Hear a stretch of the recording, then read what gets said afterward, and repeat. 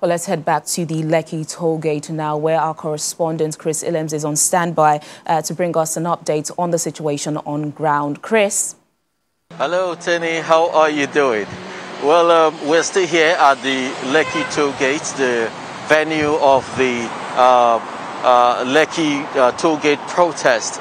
And of course, uh, nothing much is happening right now. The last arrest that was made was done about a uh, few minutes before 2 o'clock when five, uh, uh, five persons came around to demand for the release of Mr. Macaroni, who was um, arrested very, very much earlier um, in the day.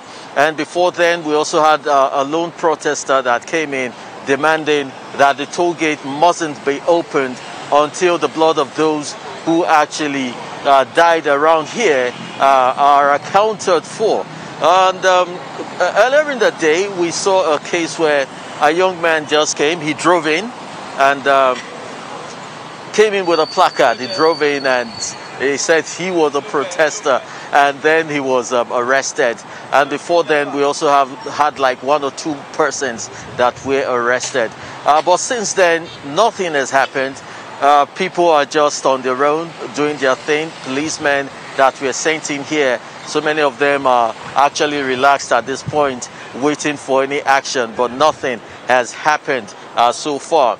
And um, if you look behind me, that's the toll gate. You'll find out that uh, it appears, or it appears that some repair work may have happened here.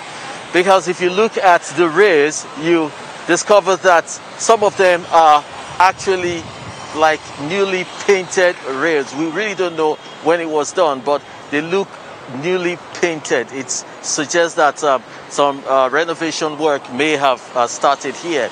But since we came in today, nothing much has happened, and uh, we just have policemen, plainclothes uh, policemen are also around. They are actually stationed amongst everybody here, so you wouldn't know that they are actually policemen. They are just gathering information, and if you are caught as a protester, then you are gone for the day. That is exactly what is happening here right now. Nothing much. We're hoping that the Commissioner of Police, who has uh, gone towards uh, Abraham Adesanya, I, we learned that he's actually gone beyond Abraham Adesanya right now. We hope that he comes back to give us update on um, what has happened to those that have been arrested and of course um, if they would be prosecuted and if that won't amount to stepping on their fundamental right. That's it for now from the, the Lekki toll gate. All right, then, Chris, keep an eye on the situation for us. I'm sure we'll be talking to you in subsequent bulletins. Thanks once again.